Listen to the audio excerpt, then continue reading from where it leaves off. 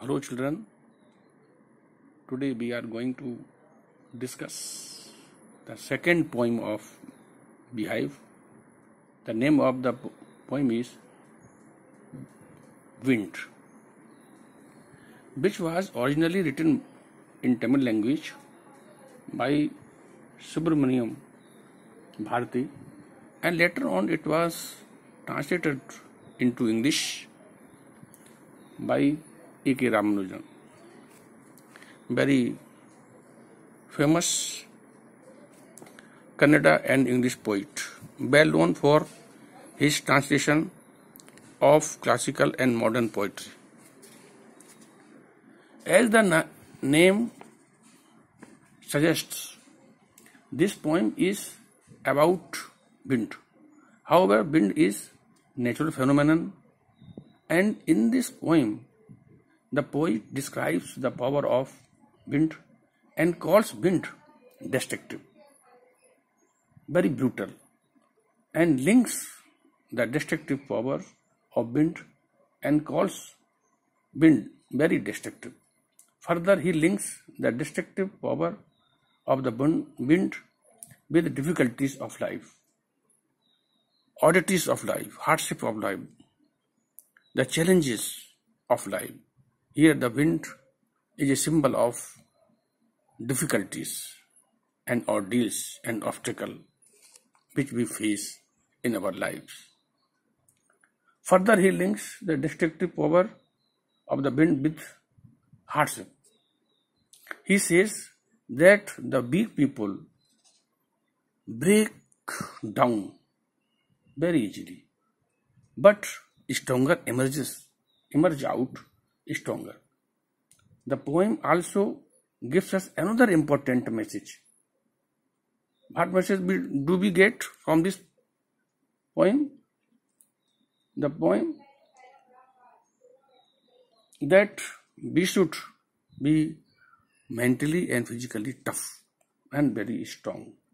If you are strong mentally and physically, no challenges can overpower you.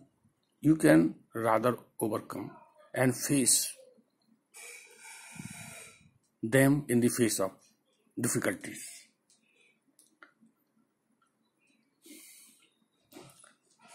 But a weak person crumbles and breaks down like an old building. So it is necessary that we should make these destructive forces our friends with firm determination and physical and mental strength only. This is only way you can make the make such forces, such destructive forces of wind your friends. Otherwise they will overcome and ruin you. These forces will overcome and ruin, ruin you. Now let us uh, read the poem and I will explain the whole poem. Wind comes softly. The as I have told you that the poet is talking to the wind. And he is asking the wind to come to to blow very softly. Very slowly. Don't break the shutter of the windows. Don't scatter the papers.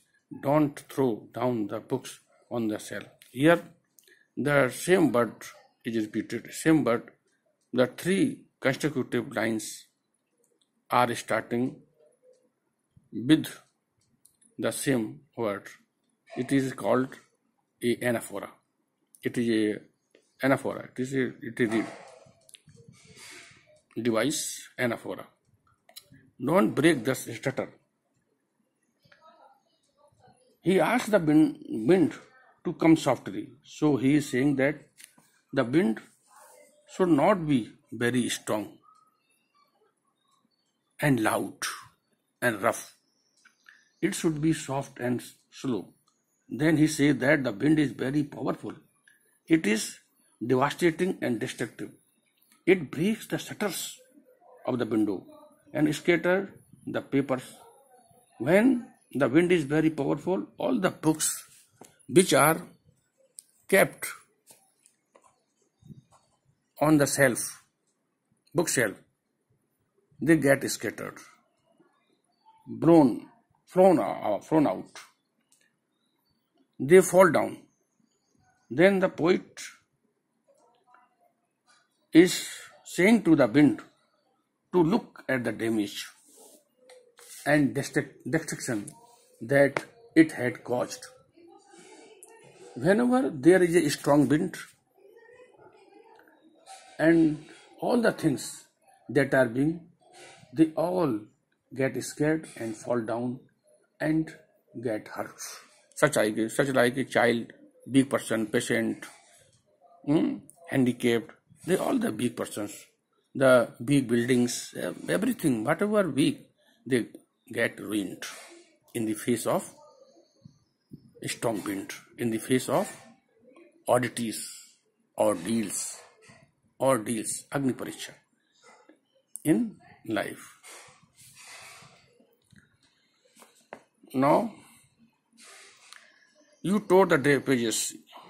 This destruction, this devastation, this damage the strong wind has caused. You are very clever at poking fun at the weaklings. You are so clever. You always damage, you always rain. You always cause much sorrow and suffering to the weak persons. Weaklings, poking fun one means you laugh at them. You make fun of the weak persons.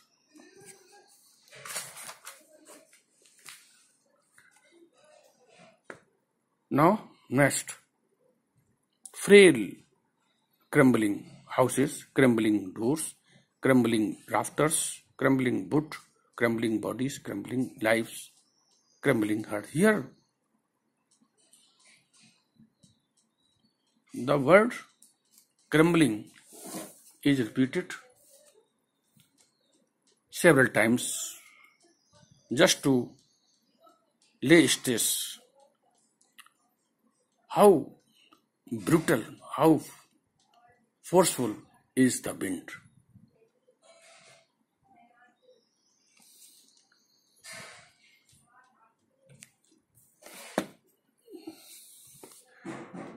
Crumbling houses, the weak houses, the crumbling doors, the doors of the houses which are very weak. Crumbling rafters, rafters, the sloping beams on which the roofs of the buildings are supported. This is the rafter which support the roofs of the buildings. If they are weak, they get gutted, they get they damaged, very they are very affected. Crumbling words, crumbling wood, crumbling bodies, crumbling the lives, and the persons who have, who have the weak hearts, who are the who are very weak, very feeble. They are not strong enough. They are not strong enough. They are not courageous, bold, and brave. They are not physically and mentally strong. They suffer most. The wind God winnows and curses them all. This is very important line. Here the boy is addressing to the wind as a wind god. He says, wind god knows that, knows. That means he shifts, he shifts the people from people, the, the weak people from strong people. Shift means when you use the sieve to separate the lumps or something.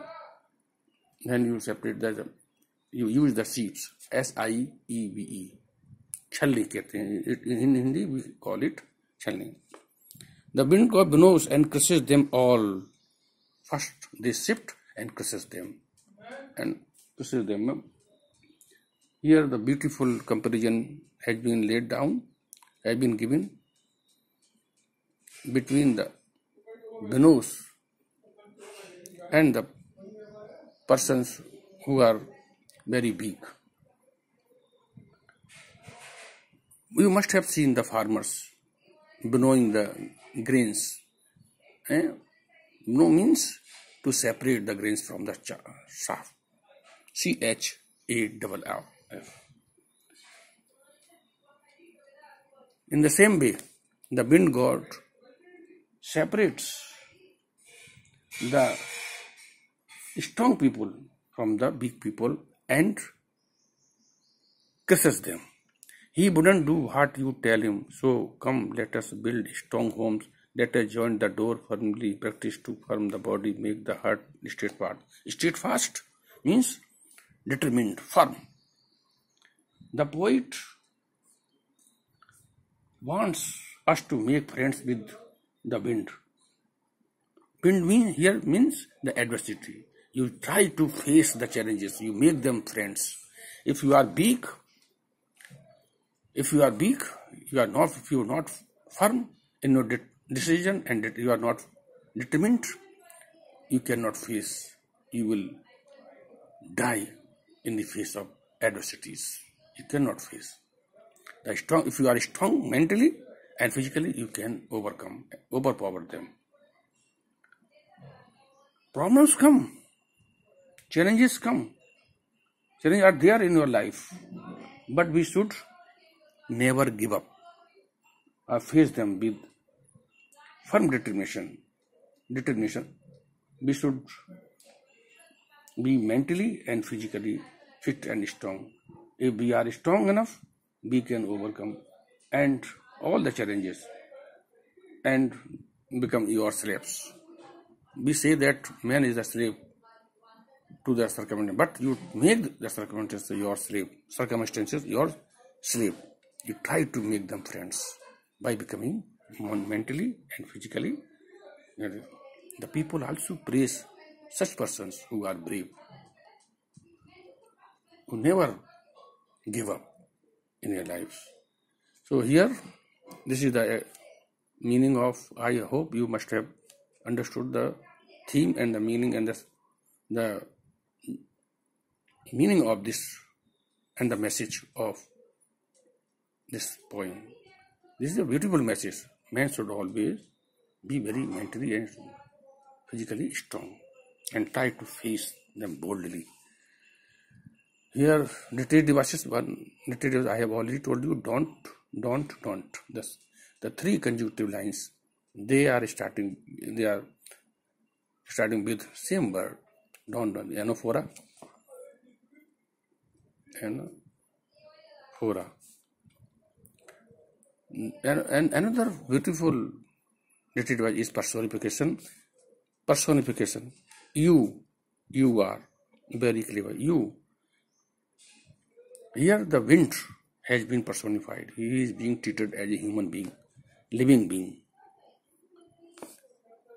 This is all in today's session.